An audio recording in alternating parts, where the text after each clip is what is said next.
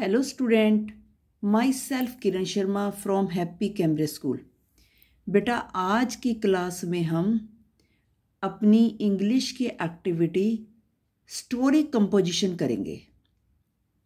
हमें करना कैसे है? आप पिक्चर देखोगे ये सामने, जो आपको शो हो रही है। इन पिक्चर में, सबसे फ़र्स्ट पिक्चर में आपको क्या शो रहा है?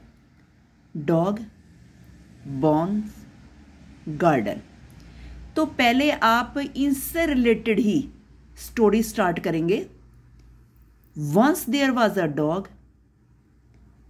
he was very hungry he went into a garden what did the dog see in the garden dog ने गार्डन में क्या देखा? आप इस चीज़ को ऑब्ज़र्व करेंगे अब।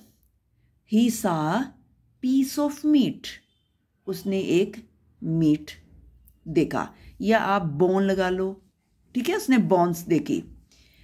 उसके बाद what did the dog do dog ने क्या किया? क्या उसने बोन्स को उठा लिया उसको? या नहीं?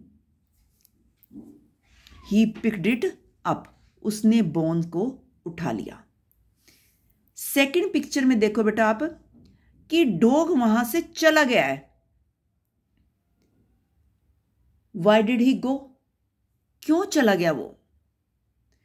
Because he wanted to eat it alone क्योंकि वह उसको अकेला खाना चाहता था।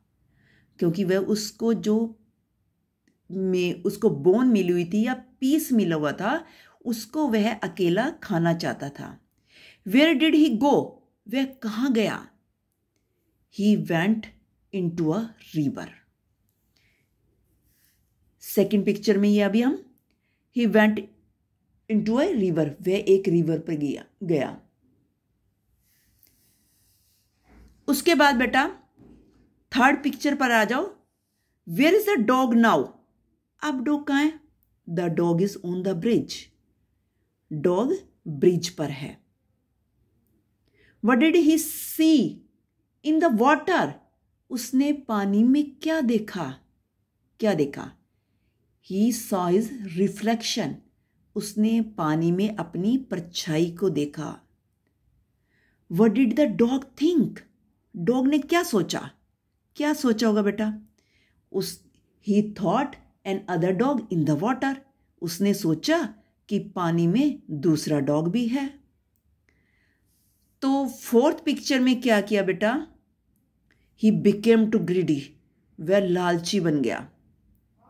और उसने ही बिगेन टू बार्क उसने भूखना शुरू कर दिया। और जैसे उसने बार्क करना शुरू किया the piece of bone fell into the water जो बोन का पीस था, वो पानी में गिर गया। तो डॉग वॉज़ वेरी सैड अब जो डॉग था, वो बहुत ही सैड था। मैंने बेटा आपको इस स्टोरी को डिस्क्राइब कर दिया है, ठीक है? और आपको ये स्टोरी मैं फिलप्स में सेंड करूँगी। देखो ज़रा। फिलप्स में मैं आपको सेंड करूँगी।